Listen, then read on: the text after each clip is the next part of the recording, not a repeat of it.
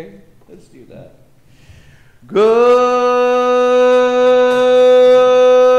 morning.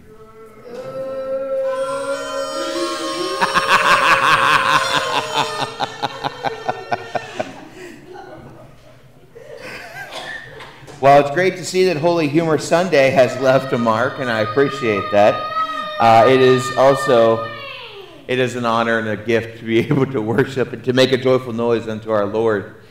And so let's go ahead and take some time here and go over some. Shh, thank you. Go over some announcements. Uh, as a reminder, of course, our Wednesday night meal continues this week as well too. You're welcome to come and be part of that with us. We'd love to have you. Meatloaf. It's meatloaf this week. Uh, so please do come and enjoy that. Uh, Wednesday morning as well too. The quilters continue to do their work, and if you would like to help, they would love to have you come and be part of that as well too. I just forgot whether you're joining us online or in person. Thank you. I forgot. We've been having uh, more and more people be able to join us online throughout the weeks, and so I wanted to make sure to to uh, say good morning to you as well too. I apologize for that.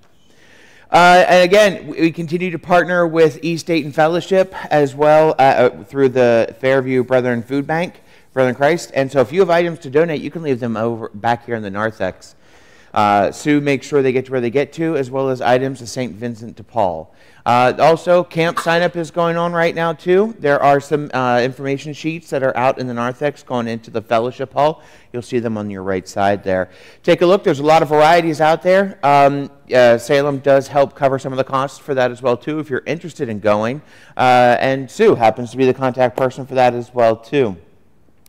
So uh, it's uh, once Easter's done, everybody kind of takes a collective breath, trying to, to get their sense of okay, what's coming up next? And so as the summer it gets close, camp is a great opportunity to interact with people um, and explore faithfully as well too. So we'd love to see any and all. There's a wide array of options available to you, uh, and you are uh, really encouraged to be a part of that as well too.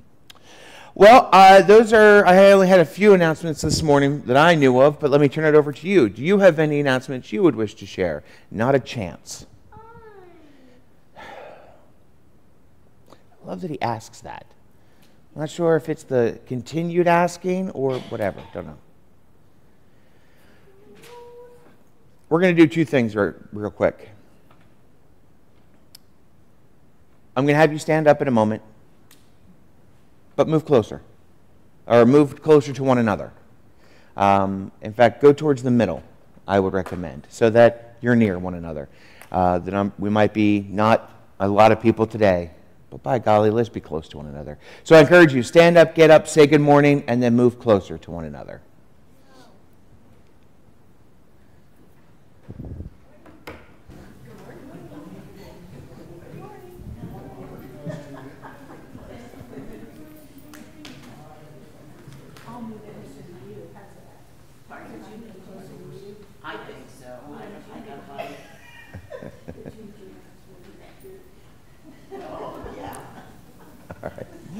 Go ahead, Bonnie. Good morning. Would you please join me in the call to worship? Oh God, sometimes we fail to see your work. The cracks of life seem to attune our eyes and ears, hearts and minds to recognize you.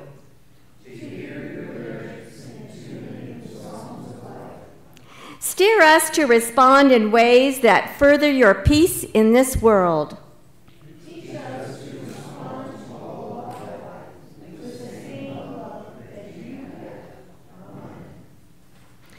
Lord, in the midst of the sorrow and confusion and exhilaration of the resurrection, the disciples begin to rebuild their lives by starting over. They go back to the thing that they knew, trying to understand what the next step of their lives would be. And in that confusion, that uncertainty, you appear to them and remind them that even in their confusion and weariness for their days and future, your love is the direction their lives are to follow. May we do as the disciples did and trust in your guidance. Amen. Our first hymn today is Great is Thy Faithfulness in our blue hymn books, page 327.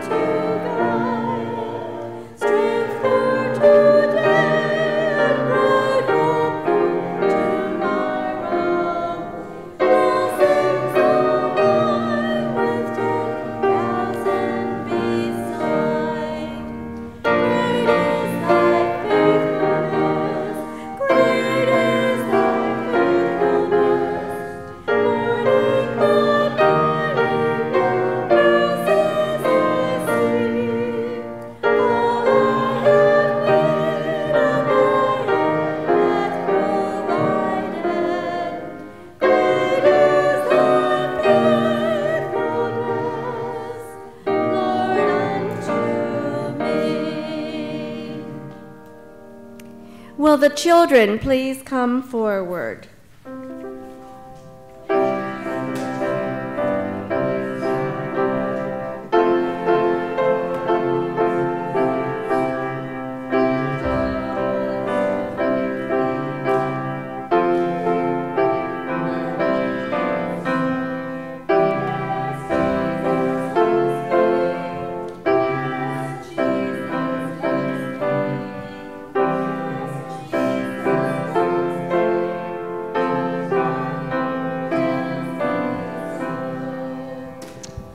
I certainly am glad you guys are here. You okay? That surprised you, didn't it? it surprised me. You'll hit your head, you bust it open. That's true. That happens sometimes. Hey, do you guys ever, come back? Do you guys ever feel under stress? Oh, you have it all the time. What what stresses you out? School. Stress. Do you ever feel under, under stress? Here, sit up. Come on. I don't know. Isaac, sit on your butt. Do you ever have to get ready for a test? Do you have spelling? Do you have spelling at your school where you have to take a test and spell the words? I don't know. You don't know? Do you have to learn how to add and subtract? Did you have to learn how to write? Dad, but I use clocks. Do you know how to measure things with a, t- with a ruler? I never done that. You've never done, well, that's one of the things you're going to learn how to do after a bit. We will in a little bit. Do you ever have to um, do jumping jacks in gym class? Do you ever have to do something that's stressful in gym class? Do you have to have to run a mile? Okay, cal- calm down. Okay, thanks. Thanks. Come on.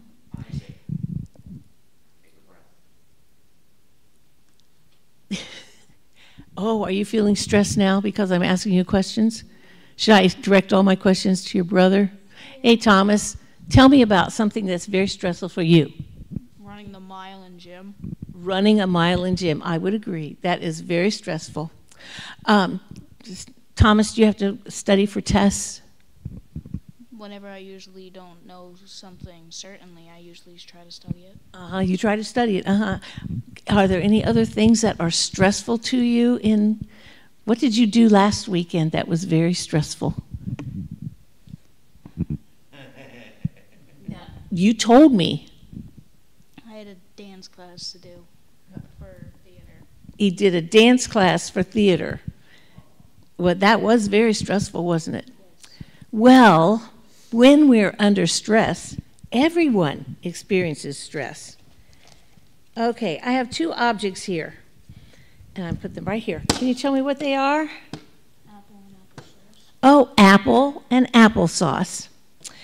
And how does the apple turn into applesauce? Do you know? You crush it up and add some sugar to it. Okay. You crush it up, add some sugar. Actually, this is Andrea Dillon approved applesauce with no added sugar. So there's no sugar in this, but I just want you to know I do have things at my house that have no sugar. It has natural sugar in it from the apples, but but you have to did you hear? It has to crush it up from this state to get it to be applesauce that takes pressure. And all of us experience pressure all the time. Not only does it have to be crushed up, it has to be cooked, so it has to be under high heat. And the high heat helps it break down so that it is smooth and delicious. And lots of us eat applesauce. It's one of the wonderful things to eat, applesauce. Now I have a Bible verse I'm going to read to you, and this comes from James, the fir- uh, James 1, 3 and 4 because you know that the testing of your faith produces perseverance, let perseverance finish its work so that you may be mature and complete, not lacking anything.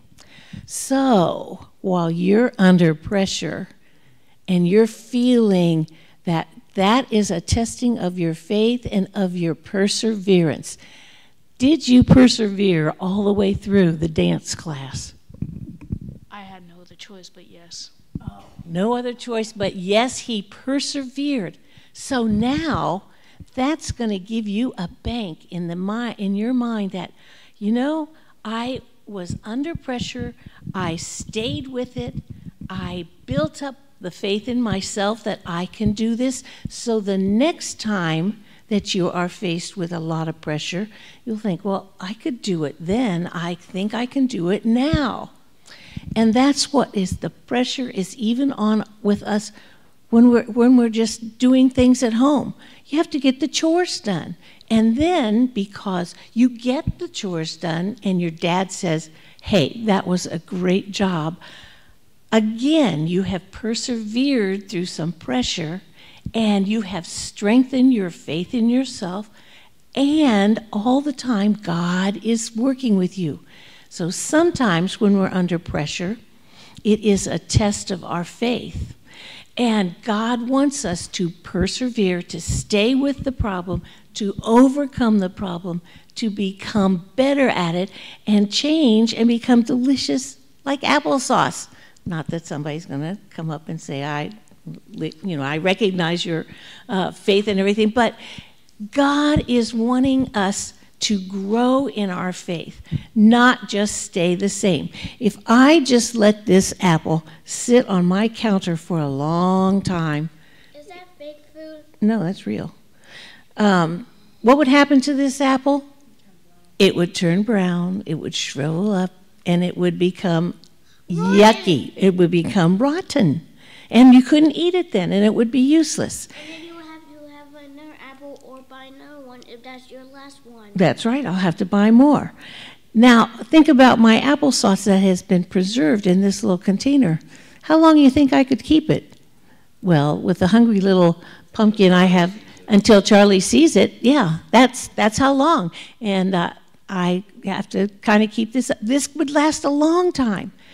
God wants us to withstand pressures and to grow with him and build our confidence. And that's part of god's plan is it's life is not going to have is not going to be easy all the time. And there are going to be times when we're under pressure.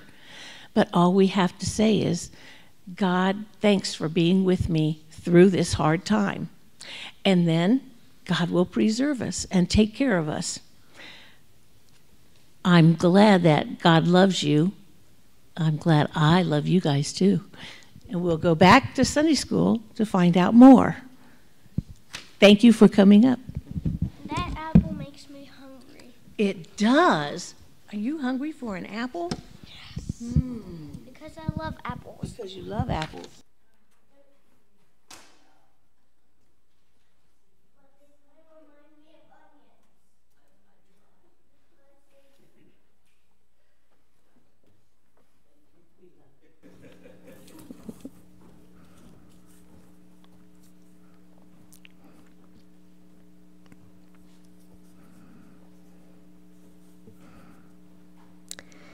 Lord, in the midst of the sorrow and confusion and exhilaration of the resurrection, the disciples begin to rebuild their lives by starting over.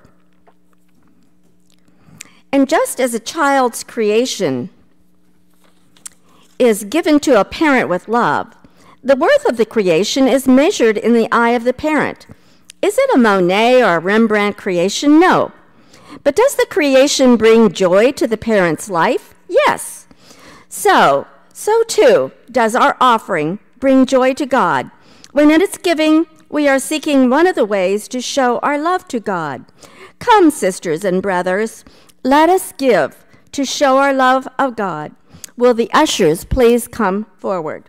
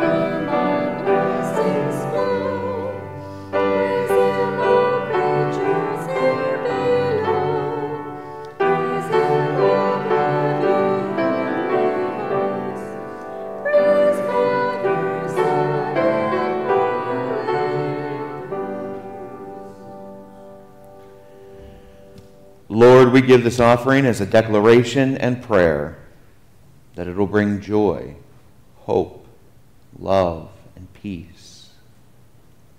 These may seem like lofty, perhaps impossible to our minds, but to you, it, it is more than possible. It is a reality. Use this offering as you would use us, O Lord, in any way that you see fit. In your name we pray. Amen.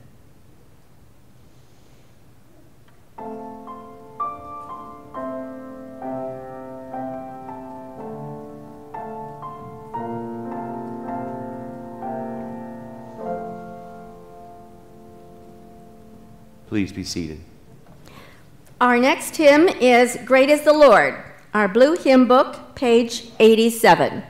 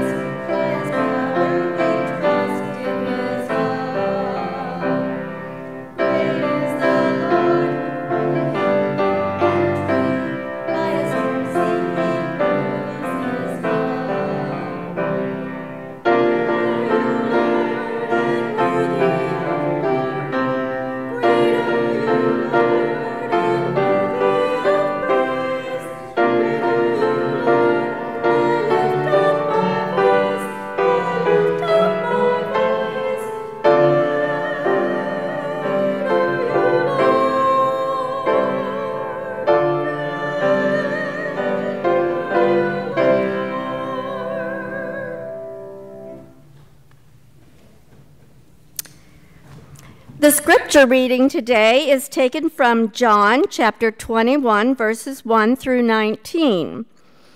Later, Jesus himself appeared again to his disciples at the Sea of Tiberias. This is how it happened Simon Peter, Thomas, Nathanael from Cana in Galilee, Zebedee's sons, and two other disciples were together. Simon Peter told them, I'm going fishing. They said, We'll go with you. They set out in a boat, but throughout the night they caught nothing.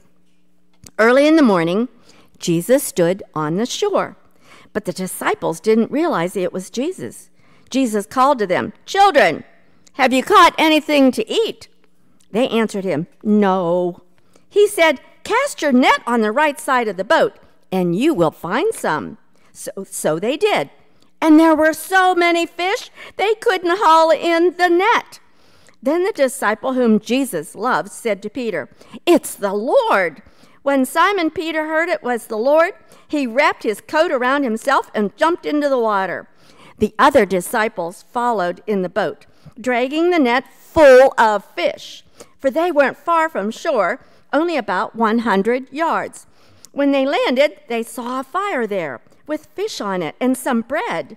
Jesus said to them, Bring some of the fish that you've just caught. Simon Peter got up and pulled the net to shore. It was full of large fish, 153 of them. Yet the net hadn't torn, even with so many fish. Jesus said to them, Come and have breakfast. None of the disciples could bring themselves to ask him, Who are you? They knew it was the Lord. Jesus came, took the bread, and gave it to them. He did the same with the fish. This was now the third time Jesus appeared to his disciples after he was raised from the dead. When they finished eating, Jesus asked Simon Peter, Simon, son of John, do you love me more than these? Simon replied, Yes, Lord, you know I love you. Jesus said to him, Feed my lambs. Jesus asked a second time, Simon, son of John, do you love me? Simon replied, Yes, Lord, you know I love you. Jesus said to him, Take care of my sheep. He asked a third time, Simon, son of John, do you love me? Peter was sad that Jesus asked him a third time, Do you love me? He replied, Lord, you know everything. You know I love you. Jesus said to him, Feed my sheep. I assure you that when you were younger, you tied your own belt and walked around wherever you wanted. When you grow old, you will stretch out your hands, and another will tie your belt and lead you where you don't want to go. He said this to show the kind of death by which Peter would glorify God. After saying this, Jesus said to Peter, Follow me. The reading today is from Here's My Heart. In this fourth resurrection appearance in the Gospel of John, Peter has decided to go back to his day, his day job of fishing. At daybreak, Jesus, light of the world, appears to the disciples on the shore of the Sea of Galilee. His presence leads to abundant catch of fish. It is in this abundance, in this moment of grace upon grace, John 1 16, that the disciples recognize Jesus. Coming ashore, they find that Jesus had made breakfast for them, a meal of bread and fish, which would have recalled the abundance of the feeding of the 5,000. Jesus recalled the abundance of that. And comes to his disciples to call them once again to the work of the harvest. With the ref- reference to Nathanael of Cana, we are meant to recognize this scene as a second call narrative for the disciples, a call to do greater works than these, because Jesus will ascend to the Father. It becomes our call story as well. How will we offer witness to the world of the love of God in Jesus after the events of the arrest, trial, crucifixion, and resurrection?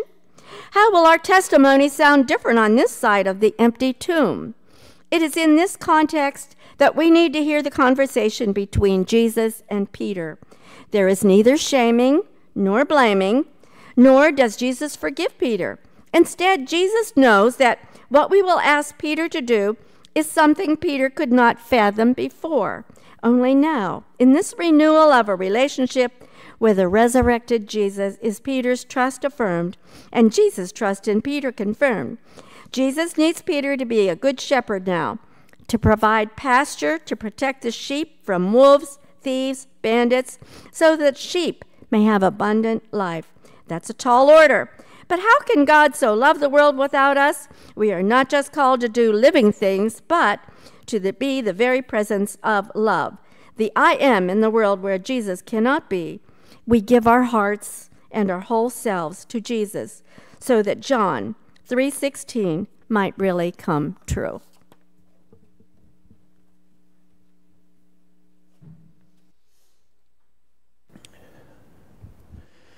There was I lost my stand. Okay. Oh, that'll work. Okay. Some days I worry myself. There was a little pass, part of that passage there that Bonnie skipped over, and I was wondering if she would or wouldn't. Um, verse 7 says this Then the disciple whom Jesus loved said to Peter, It's the Lord. When Simon Peter heard it was the Lord, he wrapped his coat around himself, for he was naked, and jumped into the water. That will make sense in a minute why I just reread that part. Bear with me. Why did they go fishing? Why? We know that in this story, which has so many echoes of things that had already been done, the reading talked about the feeding of the 5,000 with the bread and the fish, which is what Jesus is cooking to feed the disciples. The story has so many memories connected to it. So, why did they go fishing? Well, we know fishing was Peter's job. It's what Peter knew to do. It was something he had been taught since he was a young boy, something that he and his brothers had done from such an early age that it was common for them. Apparently, it was so common for them that they would fish naked. Listen, if I'm walking somewhere and I happen upon a little pond or a body of water and there's a naked fisherman in front of me, I'm walking away. That's just me. Fine. But why is this the action Peter and the other disciples chose to do in this moment of their story, in this period of grief of their story? Not counting the initial resurrection, Jesus has appeared to them two other times prior to this, but then left again. Nothing is making sense to the disciples at this point. Any potential relief from the grief is fleeting at best. Moments where they think, oh, Jesus is here, we'll be fine, it's great. They turn, they look, and Jesus is gone. They can't get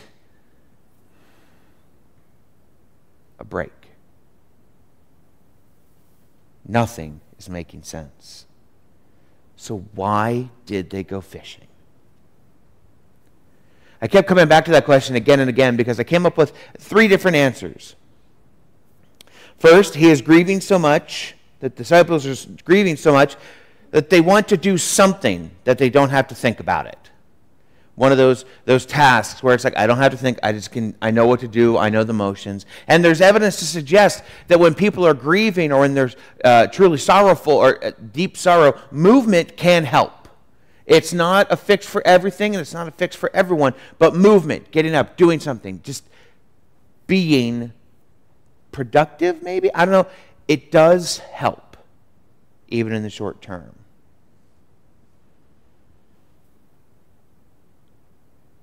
There's something to be said about the benefits of moving when grief is pronounced, but be clear moving doesn't fix everything, and not everyone can muster the emotional strength to drive the physical strength to move.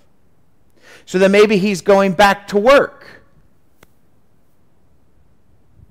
He figured he was out of a job, and bills were going to need to be paid. Those fish don't catch themselves. All right, go back to doing what I was doing. Or maybe he was going to run away. Because remember, he is at risk. He and the other disciples are very much at risk in this space and time. Jesus was their Messiah who was just murdered. He was just uh, arrested, murdered, and then resurrected. It is a very politically sensitive time. And anybody close to Jesus would have likely felt that they were destined for the same outcome and quickly. So maybe knowing that they are not in a safe place a safe space or a safe time, they figure out we've got to go. We've got to go. Well, to go somewhere, you need a little bit of money, don't you? You need to be able to pay to go somewhere. Maybe they were fishing to get a quick buck so they could get out of Dodge as quickly as possible.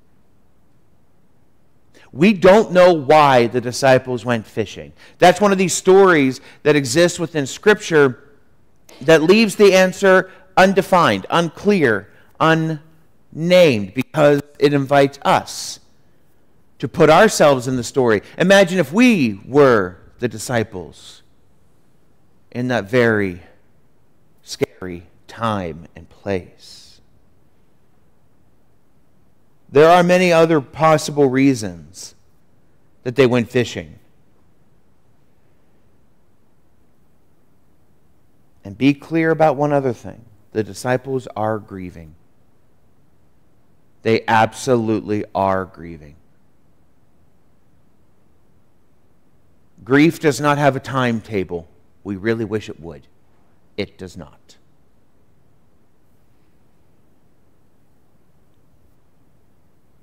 This grief that they are feeling has reached into their souls, their very way of being, and it's transforming them. Because they don't know who they are now. They don't know what they're supposed to do. And this follows a time in which they were clear, they were certain, they knew what they were going to do. They were going to be at the right and the left hand of the Messiah when the Messiah came to power. They were going to be the ones who were revered among their communities and their peers because they were the ones who were with Jesus from the beginning. They had a plan. That plan is gone. They knew what their identity was going to be, and now that's gone. They don't know who they are. Their identity is shaken. Don't miss that. We call them disciples because that's how we know them. We know of the story, we know what occurs. But in that time and in that space of experience, they're not sure who they are at that time anymore, what they are or who they will be. They didn't know what to do. And identities matter. It's how humans understand their roles, their expectations, how they navigate themselves through the world. For the disciples, they don't know what to do.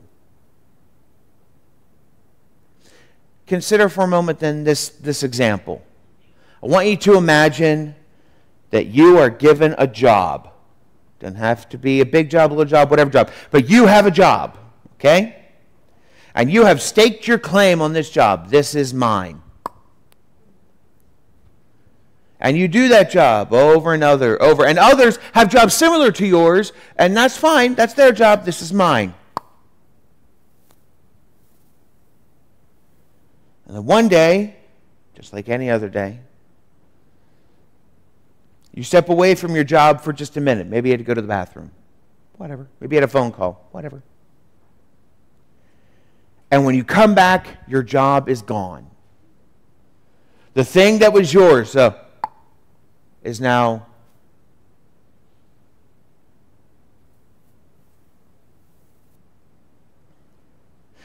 Maybe somebody else is doing that job. Maybe that job just disappeared. All you know is that the thing you did, the thing that was part of your identity, your job, is gone. You can no longer do. How do you react? Are you joyful? Maybe the job was bad. Maybe it wasn't a good job. Maybe it was just a paycheck. And you're like, okay, good. I'll go do anything else. Are you angry that that job is gone? Why would someone take that from you? Were you scared? What will you do now? If I don't have this job, how will I pay my bill? What will I do? Were you nervous of what people would think about you? Ugh. A person can't even get their job right. That person has nothing to do what might you feel? This, in a very large way, is what the disciples are feeling. This is part of their grief. Not only have they lost somebody they love dearly, but they've also lost their identity, their work. The thing that they were using to help define who they were going to be is now gone.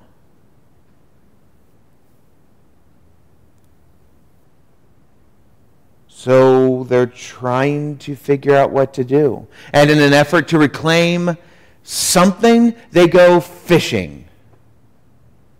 Peter goes to fish. And, it's one of those lines as well, too. It, it's amazing to me to ask, how do you hear it? When Peter says he's going to go fishing, how do you hear it? Do you hear Peter standing up boldly? Gentlemen, I'm going fishing. Or you hear it as a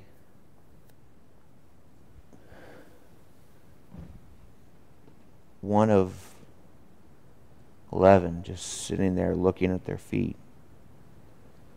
unsure of what to do? And Peter says, I'm going fishing. How do you hear that?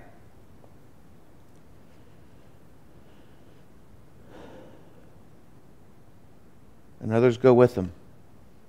Why? We're not told why. Because the why is meant for us to ask ourselves that question too.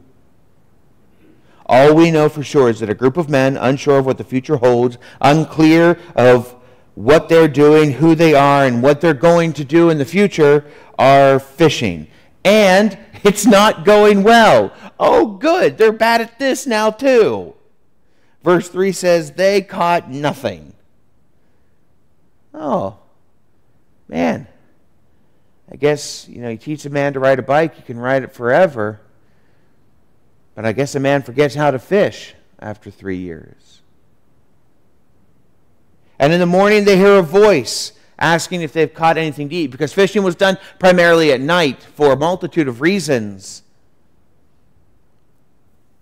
And so imagine you're grieving, you went back to do something, you can't even do that right, apparently. And then somebody from the shore asks, Did you catch anything?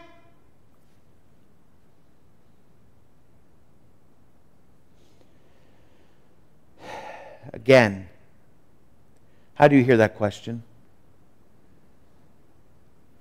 Hey, did you guys catch anything? Did you guys catch anything? Did you guys catch anything? How do you hear that question? Because that how you hear it, how you hear it being asked is a reflection partly of what you need, what you feel, where you are in the story as well too. And while I don't hear mocking in this question from Jesus on the shore, I do hear a little sting to it. For if they were wanting to go back to doing something they knew, the disciples were certain they could go back and do fishing. Because a lot of them had been doing it for so long. And they go back to it and they quite literally catch nothing.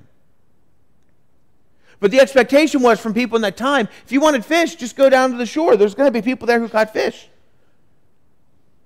They have a customer but they've caught nothing. And if they were looking to make a quick buck, if the disciples were trying to flee, get out of Dodge as quickly as they possibly could, the plan was catch some fish, sell it to somebody, and get out. Well, there's somebody who's willing to buy, apparently, but they didn't catch any fish. Still, the question looms, and the answer is it's empty.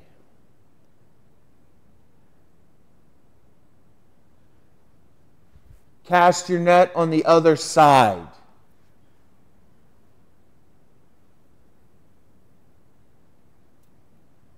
It's not a quick snap. It's a wait a minute. I've heard this before. This, this line, this direction to cast again when all the work has been done and nothing has been resolved. This sounds familiar. And when he had finished speaking, he said to Simon, Put out into the deep and let down your nets for a catch. And Simon answered, Master, we toiled all night and took nothing, but at your word I will let down the nets. Luke chapter 5, the call story of Peter.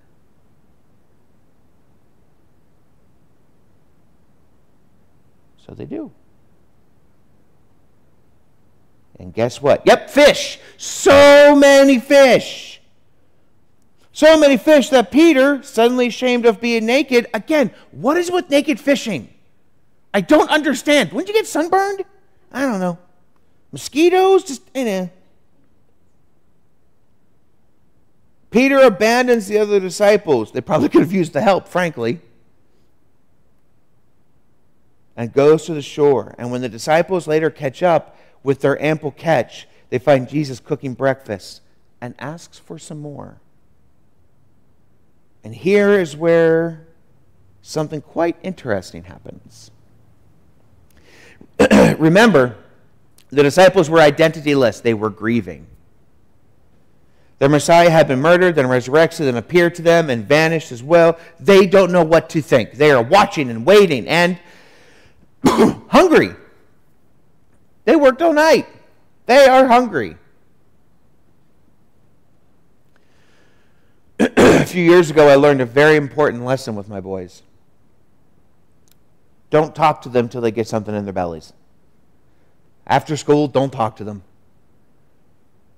Hi, how are you? Good, great. Eat a snack, then we'll talk. Before the disciples can do anything, they must eat. That is a basic human thing. The book of James will put it this way later on. If one of you says to them, Go in peace, keep warm, and be well fed, but does nothing about their physical needs, what good is it? James 2, verse 6. If you want to see change, you got to feed. You got to feed them. That's how it is. Jesus seems to get this. And so before before any teaching, before any any reassurance of self, of identity, anything Jesus does to, to help the disciples feel at ease about what is happening, he feeds them. Nothing changes until people are fed. Consider that the next time you see somebody hungry and asking for money. But Jesus, after feeding the disciples, asked Peter, Do you love me? What a question to ask. And why would Jesus ask it?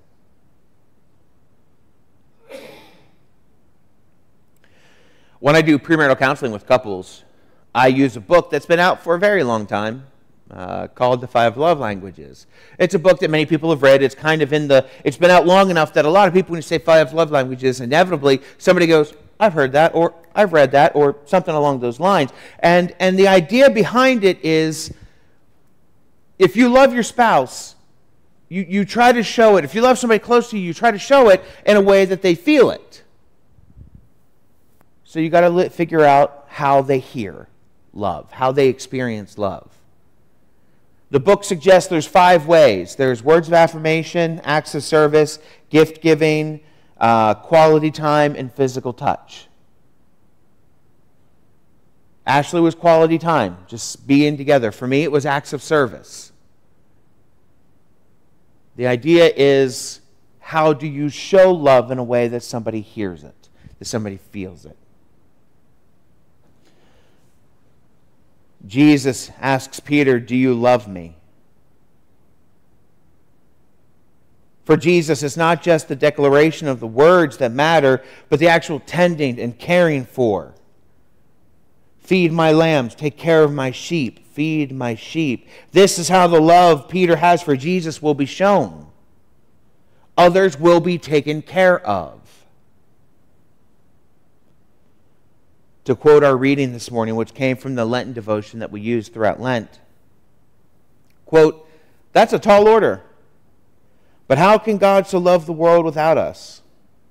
We are not just called to do living things, but to be the very presence of love, the I am in the world when Jesus cannot be. Jesus is giving this teaching to a people who can barely believe that Jesus is in front of them. Surely, in their minds, as they begin to trust that Jesus is actually the one there, it's likely their brains are going, okay, good, we can go back to the way it was two weeks ago before you were murdered. Let's go back and do that again. We were doing pretty well with that, Jesus. Let's go back to the way it was. You can't. You cannot unring a bell. Once a moment has happened, it has happened, it cannot be recovered. But they are so desperate for an identity. They are so desperate to be to know who they are and who they're going to be. And they are scared.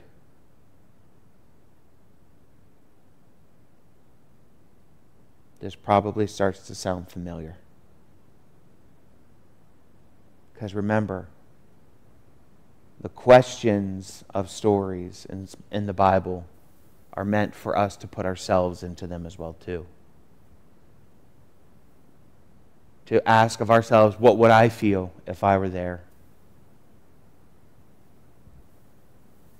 It's quite likely they were afraid. And so, yes, Loving as Jesus loved, caring for the sheep and the lambs of God is a tall order. And it is also an order that we have been on the other end of. Someone somewhere has shown us the love of Jesus. Now we are asked to share that with others. Quote, Jesus needs Peter to be the, shep- the good shepherd now, to provide pasture, to protect the sheep from wolves, thieves, and bandits, so that the sheep might have abundant life. This command is given to a few people in a very large open space. And they are uncertain of what their future is going to be. That's who Jesus is talking to. And because of that moment, and so many other faithful moments, we are asked to do the same. Let us consider where can we cast our nets that we haven't been able to before? Where can we reach out? Maybe in ways we weren't expecting and thought we could never do. Who can we care for that maybe we couldn't care for before? How can we show the love of Jesus even when we are scared, nervous, and uncertain? Those are great questions. Let's find out. Amen.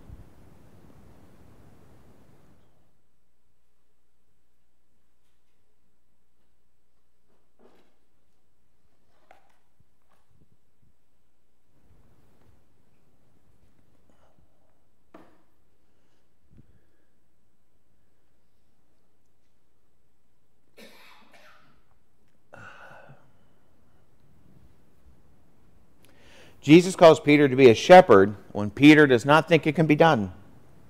Peter is focused on what can't happen. Jesus is focused on what can happen. And what can happen when people are cared for is as majestic as it is breathtaking. When we show care for others and others show care for us, then truly God's love is alive. So come, sisters and brothers and let us show care to the joys and concerns of our sisters and brothers. After a prayer is shared, I invite you to enter into a time of silence for what you have heard. And when you hear me say, O Lord, hear the prayers of our sisters and brothers, I invite you then to raise your head, to raise your head and hearts to hear and to share with one another again. What joys and concerns do we bring to share this morning?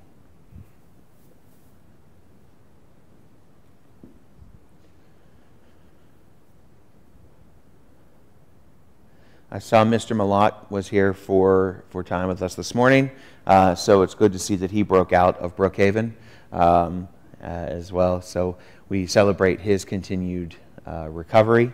Um, and just Diana Haynes, of course, as far as I know, um, is still recovering uh, as well too. And while she is improving, I haven't heard an update yet, but I know that the prayers uh, would be well received as well too.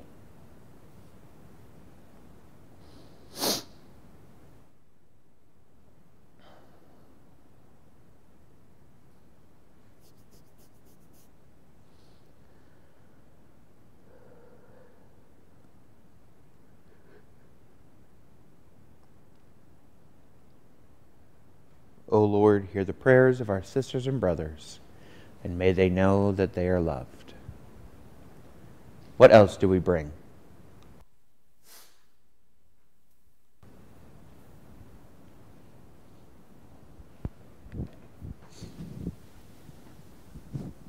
I would say a joy would be that we had about 20, I think about 23 women here yesterday for the retreat, and it was just fantastic, and we had a great time.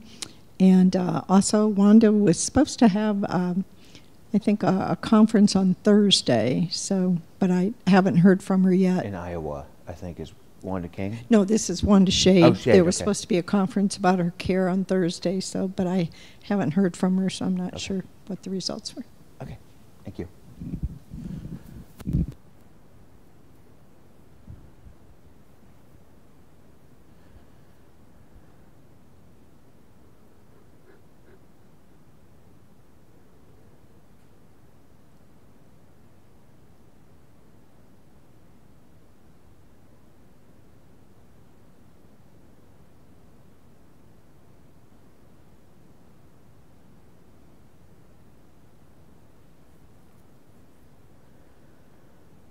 O Lord, hear the prayers of our sisters and brothers, and may they know that they are loved.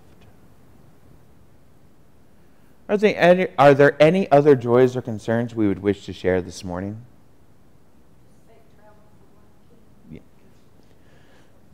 Yep, safe travels from Wanda King as she returns tomorrow or today, one of the two, uh, from a workshop she was leading for child um, disaster services, of which she is a part of. So, yeah.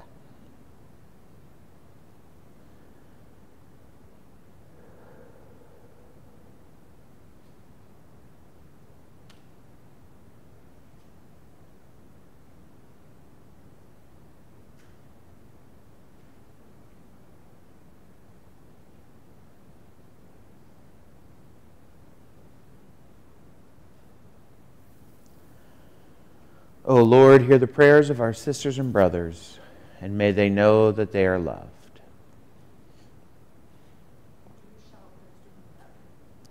Uh, an update as well too. Drew Shower, who you received a couple prayer updates for throughout the week, is improving and is doing better.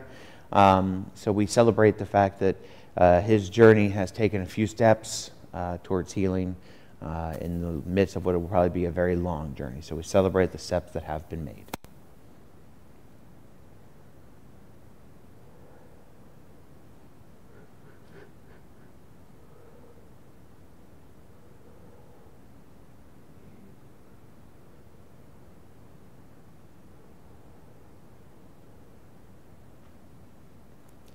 O Lord, hear the prayers of our sisters and brothers, and may they know that they are loved. Is there anything else we'd wish to share this morning?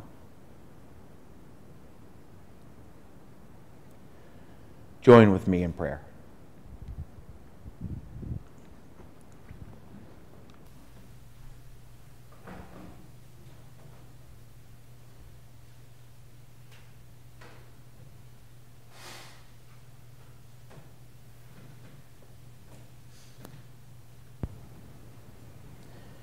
Lord, we know that there is much in this world that seems insurmountable, unjust, unfair, impossible.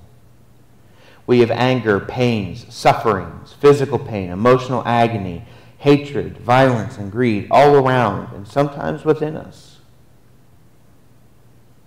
When those feelings are there and present, we feel as though an anchor is pulling us down and holding us back. Lord, help us to trust and to share the sorrows that we carry so they are not what define us, but our experiences and opportunities that open us up to others. For when we are open and trusting and supporting of one another, then truly, truly, truly we are joyous. And we celebrate the joys, the healings, the wisdoms, the experiences, the laughter, the peace that is experienced. Lord, guide us in our lives so that we can be the people who feed your sheep. Help us to live our lives so that your love is shown. Guide us to live our lives based on the prayer that Jesus taught us to pray.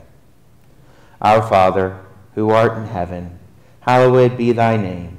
Thy kingdom come, thy will be done, on earth as it is in heaven. Give us this day our daily bread and forgive us our debts, as we forgive our debtors. And lead us not into temptation, but deliver us from evil. For thine is the kingdom, and the power, and the glory forever. Amen. I invite you to stand as you are able and join in our final hymn this morning, hymn number 322, For We Are Strangers No More, found in the blue hymnal.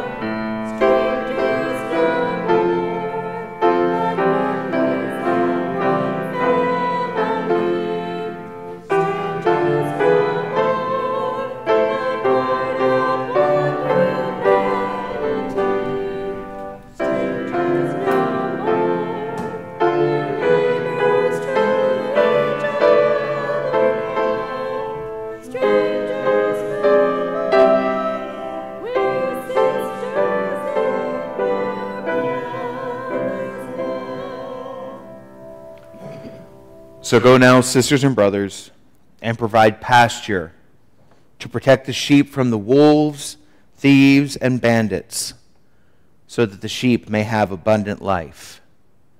Go now and be peace. Amen.